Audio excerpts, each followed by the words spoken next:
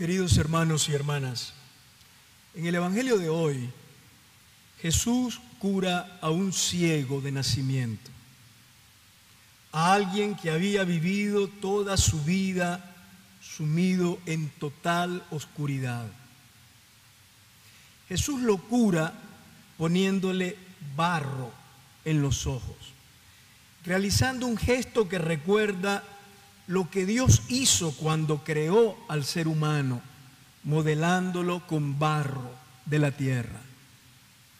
La curación de este ciego es como una nueva creación.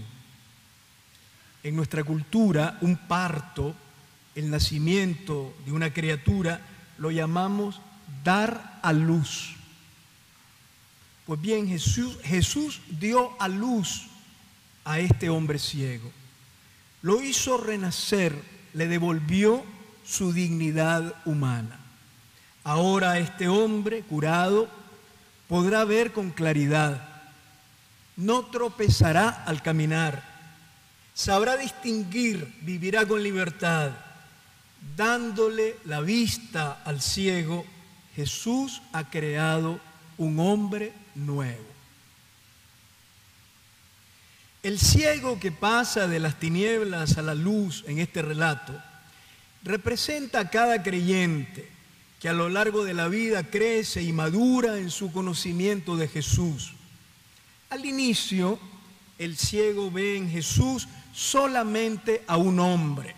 Cuando los vecinos le preguntan cómo se le abrieron los ojos, responde diciendo, ese hombre que se llama Jesús me puso barro en los ojos y me curó. Cuando los fariseos lo interrogan preguntándole, ¿qué dice del hombre que le abrió los ojos? Contesta, es un profeta. Poco más tarde, cuando los fariseos le dicen que Jesús es un pecador y no puede venir de Dios porque ha curado en sábado, el que había sido ciego responde, si éste no viniera de parte de Dios, no podría hacer nada. Finalmente, cuando expulsado de la sinagoga, vuelve a encontrar a Jesús, que le pregunta si cree en el Hijo del Hombre, entonces el ciego curado se postra ante él en un acto de adoración propio del creyente y dice, creo, Señor. Como ven, es todo un camino progresivo de la tiniebla a la luz, de la incredulidad a la fe. Un hombre que se llama Jesús, un profeta, alguien que vino de parte de Dios, el Señor, frente al cual se postra adorando. Mientras el ciego camina siempre hacia la luz en este relato, es decir, hacia un conocimiento más pleno de Jesús, los demás personajes del relato se van quedando cada vez más ciegos por su arrogancia, por su rigidez mental y por su fanatismo religioso. Los vecinos del ciego representan a la gente indiferente, que se mantiene siempre a distancia, que creen que los auténticos cambios no son posibles y prefieren un mundo donde todo siga siendo igual. Después aparecen los padres del ciego.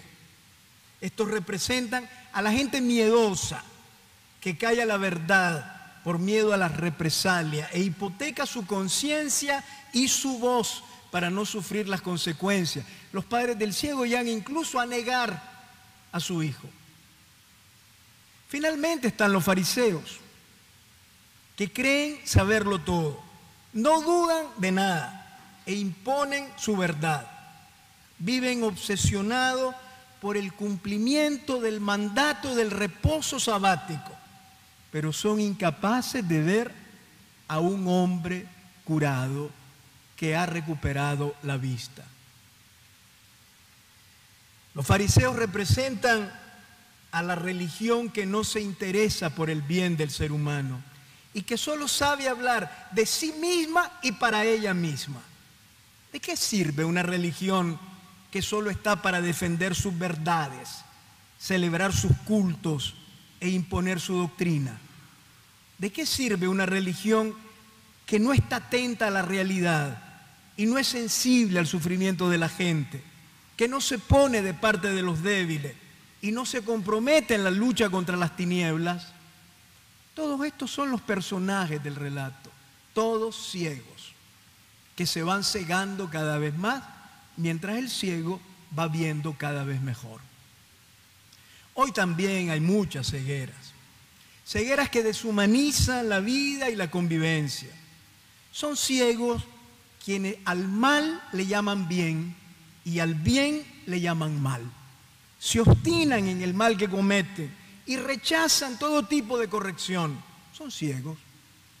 Son ciegos los que piensan que tener dinero y acumular bienes materiales hace felices y grandes a la gente. Son ciegos.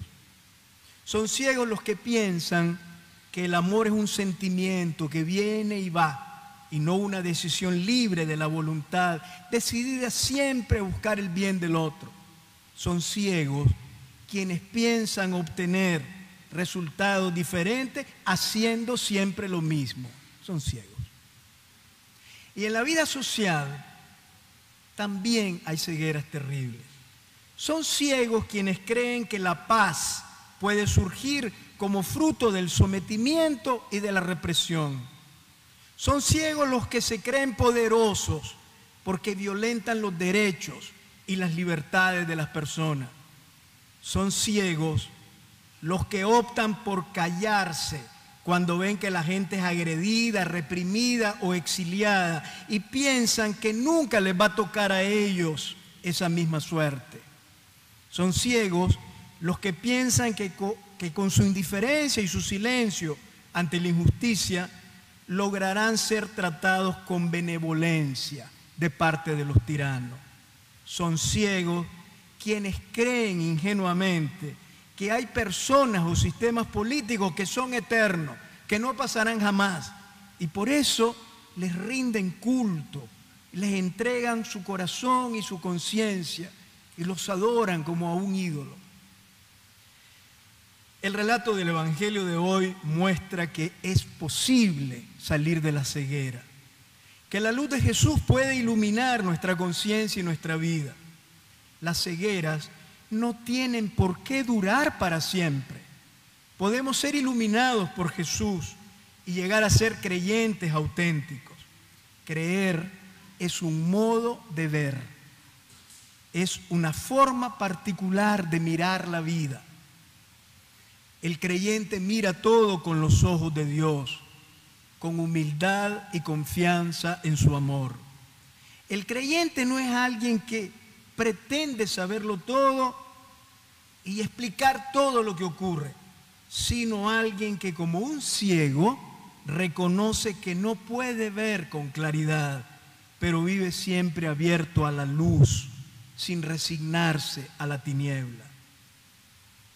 No lo olvidemos, los creyentes pasamos por momentos oscuros que no sabemos explicar, pero nos dejamos iluminar interiormente por Jesús. Los creyentes, como el ciego del relato, muchas veces somos incomprendidos, criticados y perseguidos, pero enfrentamos la vida con confianza, porque sabemos que vivimos en las manos amorosas de un Dios bueno que es nuestro Padre. Los creyentes podemos llegar a dudar, pero no nos quebramos interiormente. Podemos padecer sufrimiento, pero no quedamos abatidos para siempre. Podemos vivir situaciones incomprensibles y dolorosas, pero no perdemos la serenidad y la esperanza. Escuchando a Jesús y dejándonos conducir interiormente por Él, nos sentimos seguros.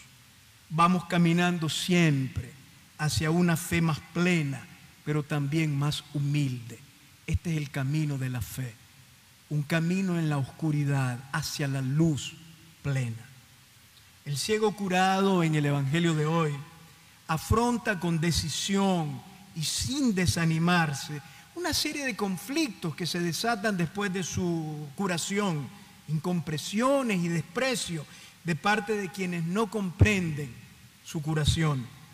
En medio de la hostilidad y las dificultades que encuentra, el ciego curado no se echa para atrás, no queda paralizado por el miedo ni se desanima.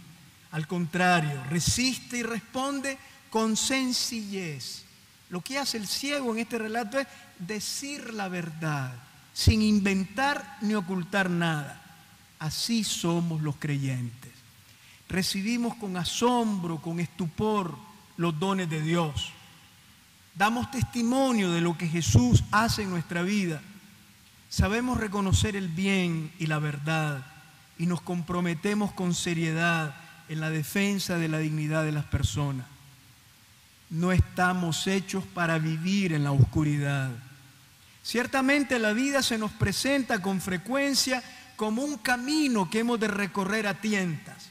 Sin embargo, atravesamos los momentos de oscuridad con serenidad, sin miedo, sin rigideces mentales, sin nostalgias estériles del pasado. Acogemos la vida como viene, no como quisiéramos que fuera. Sabemos que nos acompaña siempre la luz de Jesús, que es fuente de serenidad y de gozo, de sabiduría y de discernimiento. Y como el ciego de nacimiento, nos dejamos continuamente iluminar por Él.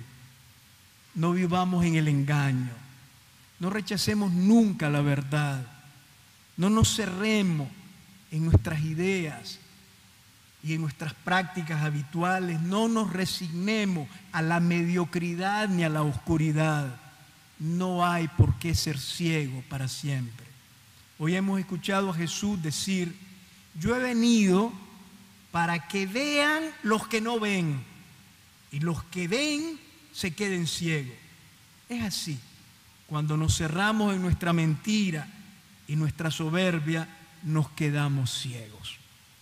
Cuando reconocemos con humildad nuestra ceguera y acogemos la luz del Evangelio, comenzamos a ver la verdad y a vivir con mayor alegría, mayor serenidad y mayor esperanza. Amén.